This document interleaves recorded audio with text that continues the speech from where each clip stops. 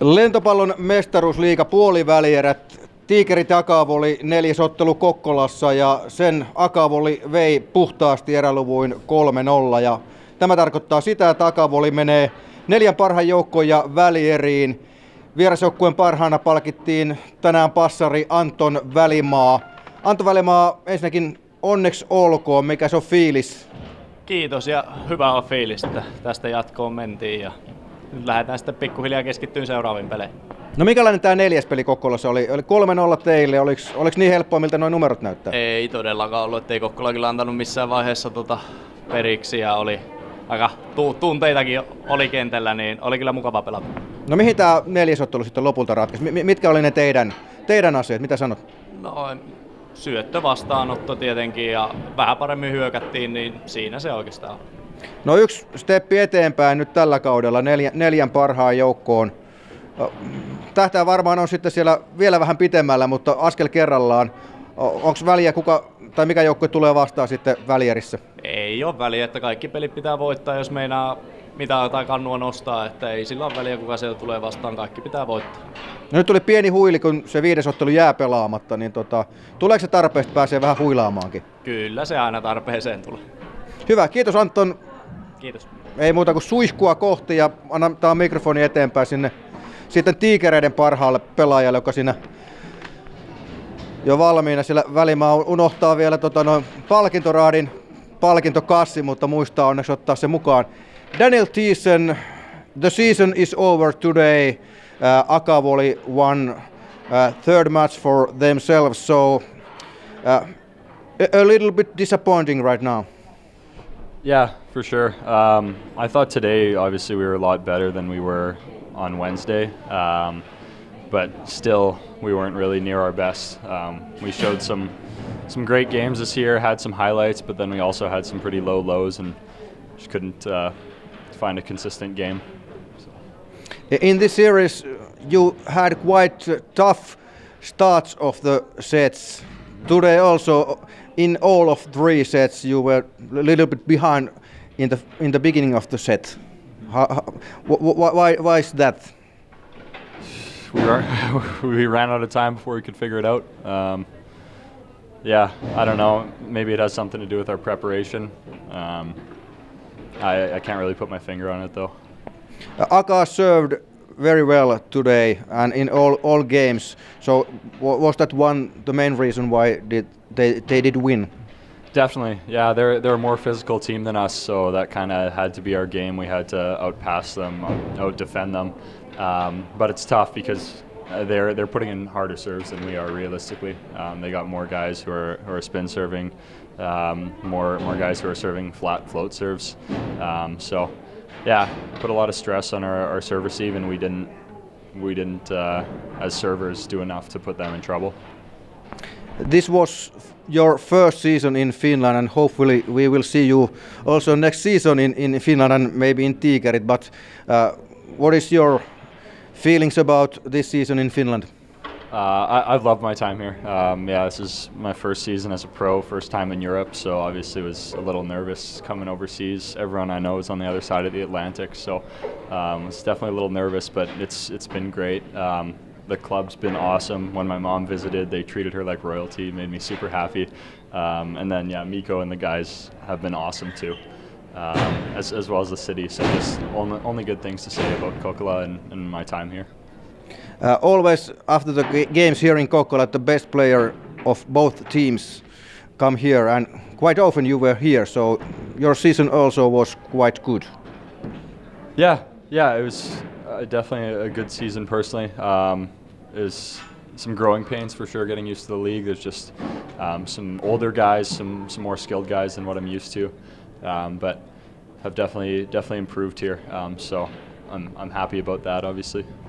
Uh, thank you, Daniel, for the season and and take take the shower now and, and enjoy enjoy the evening. I Yeah. I think you will have some kind of happening with the team. Yeah. Thanks so much, guys. Hope to see you guys again. Okay, kiitos. Cheers. Näin Daniel Thiessen, Tiikerinen paras tänään ja nyt sitten vierasjoukkueen päävalmentaja Akavolin päävalmentaja Olli Kunnari. Sarja on ohi, 3-1 voitoon te menette välieri, onneksi olkoon. Ja tota, tämä peli tänään. Miksi, miksi te olitte parempia? No tänään meillä oli aika hyvä, hyvä maltti hyökkäyksissä. Ei tehty hirveästi suoria virheitä eikä lyöty, lyöty suoria torjuntaan, että siinä puolella parannettiin, mitä aikaisemmissa peleissä on ollut. Se on varmaan se isoin, isoin homma ja saatiin kuitenkin riittävän, riittävän hyvä paine sitten sillä syötöllä tiikereille. Tehtiin heidän, heidän elämästään vaikeaa, niin siinä varmaan ne niin kuin isoimmat. Minkälainen ottelusarja kokonaisuudessa tämä sun mielestä oli? No, kyllähän se playoff, playoff-peliä oli, että oli tiukkoja, tiukkoja eriä ja tiukkoja kamppailuja ja tota, sillä että play, playoffia ja paljon puolustettiin paljon puolia ja toisiin ja oli pitkiä pallorolleja. Että semmoista ei, valmentajalle tietenkin aina, aina välillä pitää aiheuttaa harmaita hiuksia, mutta niin, tota, niin se kuuluu. No nyt tuli ehkä vähän ylimääräistä huilia, kun tuo viides peli jäi sunnuntaita pelaamatta, kun menitte tässä vaiheessa jatkoon. Käyttääkö joukkue hyödykseen tätä, että nyt, nyt sitten vähän lepoa ennen kuin taas ruvetaan valmistautumaan välieriin? No joo, kyllä huominen totta kai, totta kai levätään ja sunnuntaina käydään pikkasen pyörähtäessä puntilla, mitä ei hirveästi kerkeä näin tiiviissä sarjassa tekemään, niin saadaan, saadaan sieltä ja sitten taas maanantaina pallon, pallon kimppuun. Että ei siinä ole hirveästi, mutta kyllä sen, kyllä sen ihan mielellään ottaa sen nyt ne ylimääräiset päivät. Olli Kunnari, onnea ja menestystä tulevaan välieräsarjaan. Kiitoksia. Sitten tiikerivalmentaja Mikko Keskisipilä. Kausi on ohi, mutta puhutaan ensin tästä perjantain pelistä. Miksi, miksi tänään tiikerit ei pystynyt sitten sitä tarvittavaa toista voittoa ottamaan? No kaikki erät vähän tietyllä tavalla toisti samaa kaavaa, että me jäätiin pikkusen taakse heti tota eri alussa ja sitten roikuttiin siinä kyllä sitkeästi muutaman pinnan päässä koko ajan ja välillä, välillä tota, päästiin hyvinkin lähelle, ehkä jopa tasoihinkin jossakin vaiheessa, mutta pikkusen taka-ajajana oltiin koko ajan. Ja, ja kyllähän kaveri syötti hyvin. Mun mielestä se oli niin koko sarja aikana pelin kuvaa, että Akaa syöttö kesti tosi hyvin, että eivät, eivät tehneet paljon virheitä. Ei niin missään vaiheessa se ei murentunut, murentunut se kova syöttö niille. Ja kyllähän se sitten meidän pelaamista tietysti teki, teki vähän vaikeammaksi siinä kun ei palloja niin hyvin saatu ylös ehkä sitten, mitä, mitä tota, meidän pelaaminen vaatisi.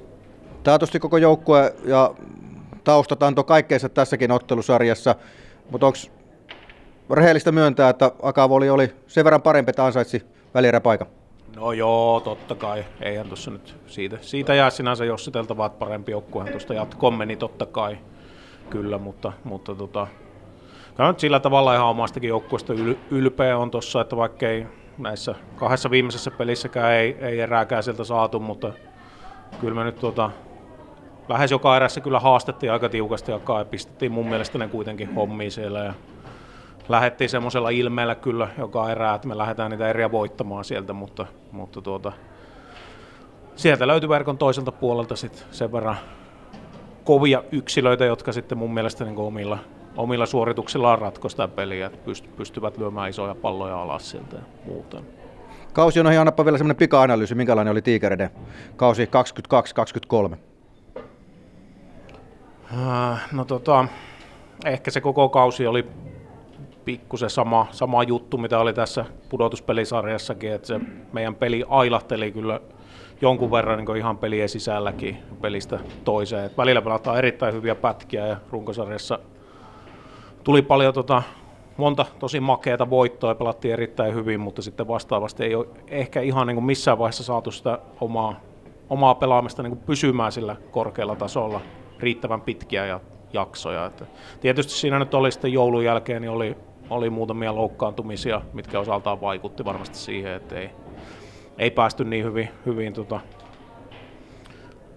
samalla kuusikolla tässä muilla miehillä sitä hommaa pyörittämään, mutta tota, runkosarjassa 15 voittoa, 15 tappiota, ihan suht koht miehekäs sarja kuitenkin Akata vastaan, niin kyllä se nyt semmoinen ihan tyydyttävä kuitenkin on, vaikka totta kai tässä vaiheessa on niin pettynyt ja kyllä, kyllä me ilman muuta haluttiin mennä mitallipeleihin, mutta tota, ei riittänyt tällä kaudella sinne asti.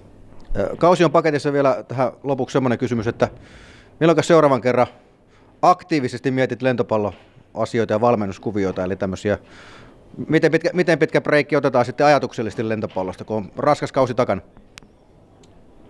Ää, no en tiedä, se on vähän, ei se ehkä niin, niin helppoa painaa resettiä tuosta vaan, ettei ne asiat mieleen tulisi tuossa. Ja, mutta tuota, totta kai kyllä tässä nyt otetaan lepoa, lepoakin ilman muuta. Kiitos Mikko kaudesta ja, ja tota noin, päätä pystyy. Jatketaan sitten taas jossain kohtaa lentopallon parissa. Yes, kiitos.